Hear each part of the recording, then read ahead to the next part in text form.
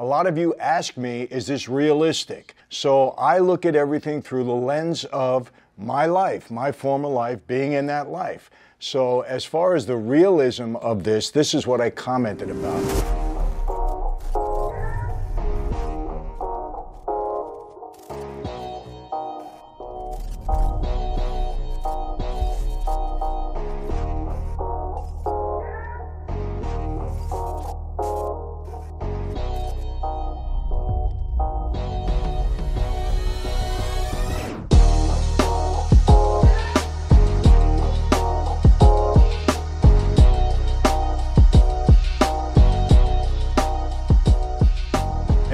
Welcome to another sit down with Michael Franzese. Hope everybody is doing well. Everything is very blessed, great on this end. And as always, we give God all the praise, honor, glory, and thanksgiving for that. Today, what am I going to do? I'm going to continue with Tulsa King. You know, I've watched episode two, and before we get into it, let me make something very clear because I got some messages when we did, you know, the review of the first episode, and I want to clarify something. I love anything that Stallone does. I think the only thing that Sly did that I didn't care for too much was Judge Dredd. He probably didn't care for it that much either. You know, every great star has a movie or two or some, you know, project that they got involved in that they're not crazy about whatever. But I'm a big fan of Stallone's. I love everything that he does. He's a terrific actor, uh, and he's great.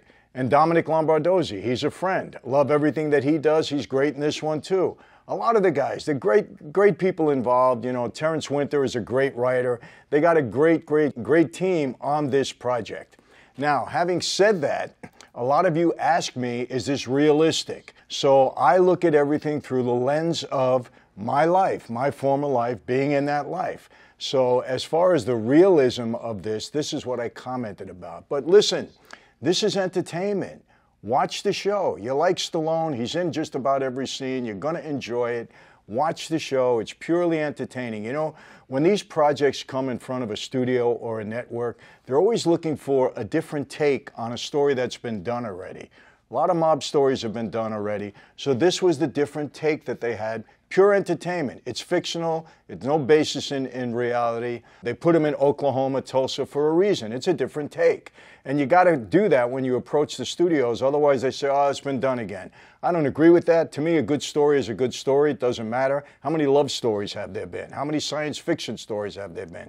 They're all pretty much the same when you break it down, but that's how the studios, the networks look at it. So, again, watch the show. It's entertaining. But as far as realistic, that's what we're going to talk about. Okay, now one thing I want to clarify also. I had said that Stallone, one of the things that wasn't realistic about this is that Stallone gets out of prison. He immediately goes back to meet with his former guys. He doesn't check into any parole or probation officer. And somebody commented, Michael, well, listen, if he does his whole term, he doesn't have to report. That's not true in most cases in the federal system under the new law. Just about everybody has supervised release for a period of time. They want to know when you're released from prison after you've done it all, they want you to report a little bit. Not in every case, but in most cases, and that's what I looked at here. So normally he wouldn't go right back into the, you know, the lion's den, so to speak, and meet with all the guys first thing he gets out of prison. That's not normal. It's not, you know, 100% fact what I'm saying, but I looked at it through that lens. So Maybe he didn't. Maybe he didn't have any supervised release. Whatever. It's not a big deal, but that's how I looked at it. But let me go to the something that's really important in this episode. If you remember in episode one, he punched a made guy, knocked him out. Okay, knocked him out, punched a made guy. Well, in this episode, that guy who had his jaw broken, I think, in three places, goes to Dominic Lombardozzi, who's uh, second in command. His father's the boss, and he says, "I want him killed." That's it. I'm a made guy. You know the rules. This is not supposed to happen. Now, what Lombardozzi says at this time, he calls up Stallone and tells him, You got a problem and you got to solve this. And Stallone says, Well, what do you mean? He deserved it. I did you a favor. And uh, Lombardozzi says to him, Look, $100,000 will make this go away. Now, let me comment on that. The night I got made, and any time ever before that, there's certain things that are just against the rules that you cannot do and you cannot get away with.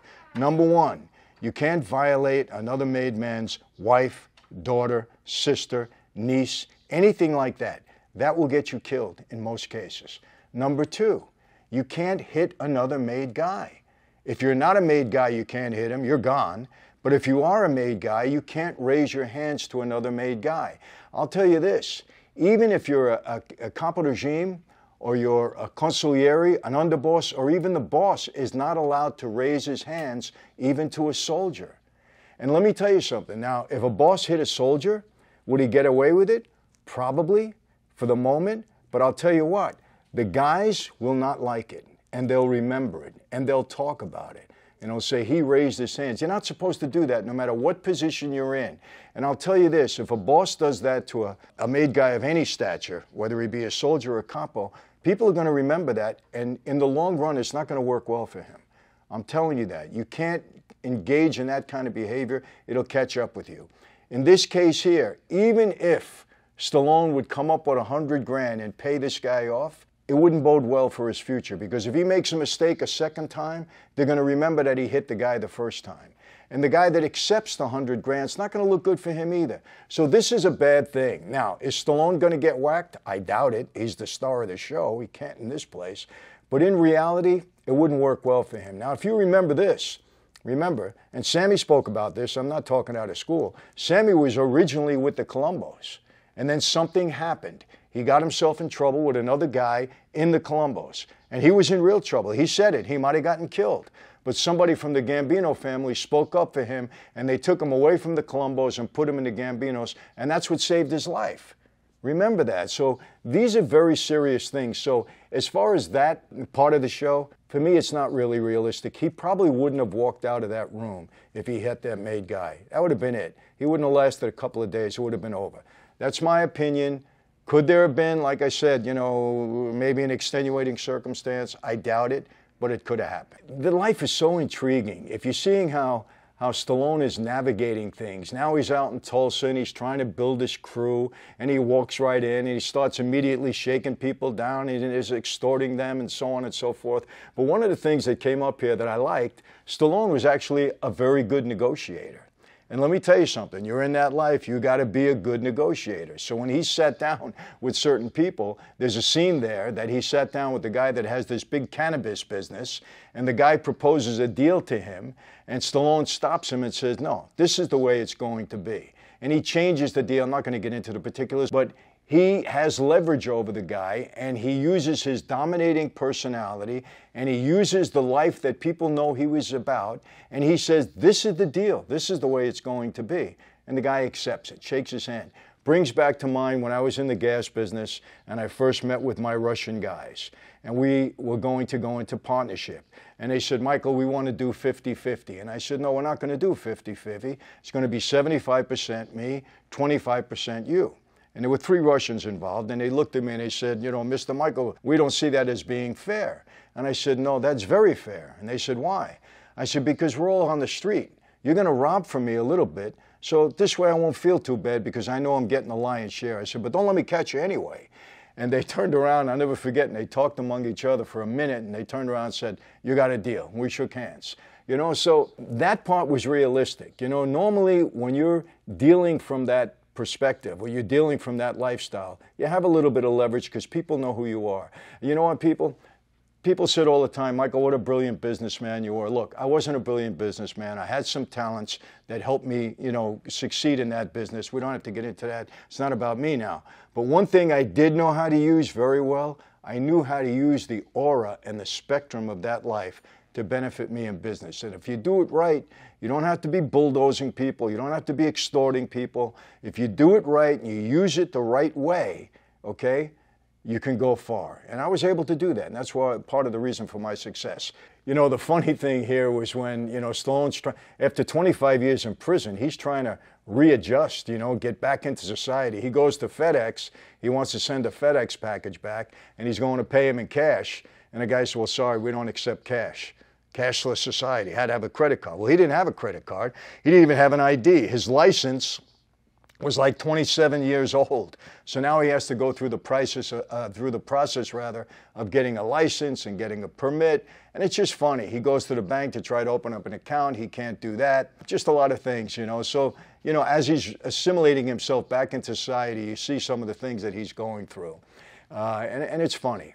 And then they start to bring another element. The plot starts to get a little bit bigger in that there's a guy, you know, wearing a cowboy hat. You know, he's in, uh, I don't know what he is, he's a rancher, it seems. And he finds out that Stallone is back in town. Uh, well, er, in town. I don't know if he ever went there before. But for some reason, or obviously, this guy had a problem with Stallone at one point in his life. It had to be more than 25 years ago. And he thinks Stallone is out there to kill him.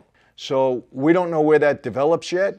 But now this guy is kind of keeping tabs on Stallone, Stallone, so we see the plot starting to widen a little bit. And it's getting a little bit more interesting in that regard. And then we see something else come into this. Now we know that um, he has a daughter, Tina, my mother, my sister, my daughter, a name that's very familiar to me. But his daughter's name is Tina in the show. You can see that anytime her name is mentioned, obviously it gets to him. And there is a scene there where a girl that, a woman that he tried to pick up in episode one happens to work for the feds. I think she's an FBI agent or something. And she comes to visit him because now she finds out who he is because they're keeping tabs on him, right? Through this, through the system. She finds out who he is and uh, she goes to him and she says, Look, I got to let you know I work for the government. And she asks him about his daughter, Tina. And um, Stallone tells her, Well, I haven't seen her in 18 years. I haven't seen anybody in my family in 18 years because it was too painful for her to come and see me and visit me in prison. He tells her that. And um, she doesn't see him again. She says, You know, if you get in trouble here, I'm not going to be able to help you. And he says, I understand that. Basically, I'm not asking for your help. And then we move to the end of, the, uh, of this episode, and we see Stallone looking at a, a building. It's in the evening, and he kind of tears up and he said, You know, I said I didn't want to visit anymore because it was too painful for her to see me. But in reality, no, it was too painful for me to see her, his daughter. And he got choked up. And that got to me a little bit too because, you know, look, I did my eight years, and uh, it was extremely painful every time my wife and children came to visit. When they left, you know, you saw mood changes in a lot of guys after they left the visiting room and uh, you know had to say goodbye to their families. It's tough, you know. And you know, one of the things I've said all the time, and I say it now, and I believe it: you don't have to punish guys in prison. The punishment is being in prison. And I don't care if you even committed the crime, you're still a human being. And when you're in there, you're going through the punishment. And part of the punishment is being away from the people that you love. That's the entire punishment. We can deal with all the other stuff. It's not pleasant, of course. You're in solitary, you got to deal with all the nonsense and junk that you got to deal with on a daily basis. But we're men, we deal with it, at least most of us can. But really, it's, it's the family, you know, being away from them, visiting them, having them leave. It's so, so tough. And so you see that starting to. Uh, you know, to come into play here. And I think that's going to be a major part. And then the, the heartbreaking thing, he makes a phone call, okay, to her. And her husband answers the phone that he didn't even know she was married, it seemed. He says, Who is this? And he says, It's, it's you know, her husband. And he hears kids in the background. He's got grandchildren. He didn't even know that. And then uh, she refuses to get on the phone with him. And he says, I just want to hear her voice. So she gets on the phone and she was very stern, very cold, and she said, You wanted to hear my voice? Well, now you hear it. And then she hangs up on him. And that's how the episode ended. And man, it, it got to me because look, you know, I mean, I, I try to, you know, be as honest as I can with you. I mean, I have two daughters, you know, from my first marriage, and the relationship is not wonderful. And it hurts that I don't have that kind of relationship with, him, with them that I have with my, my other five children. And uh, so I'm starting to feel for Stallone right now, and uh, it's getting to me. So what am I saying? It's getting better, people. I kind of downplayed it a little bit in episode one, but here it is, totally fictional story, something that would probably never really realistically happen, and things in there that aren't realistic. But you know what? It's entertainment, and it's becoming very entertaining to me. The plot is starting to thicken. So what do I tell you? Watch the show, okay? Watch it. I'm not trying to turn you off on it. I'm just giving you my perspective. So, let's get to episode episode 3 next week and we'll continue this. It's a good one. And uh, that's it for today. So, how do I always leave you? Same way. Be safe. And man, I mean that. I hate reading the New York Post every morning because everybody's getting hurt all the time in the city, the city I grew up in. I hate reading about it and hearing about it. Be safe. Be healthy, of course. Yes, I told you last time no steroids, no junk in my body. I just do the work. Be safe, be healthy. God bless every one of you throughout this holiday season. And yes, I'll see you next time. Take care.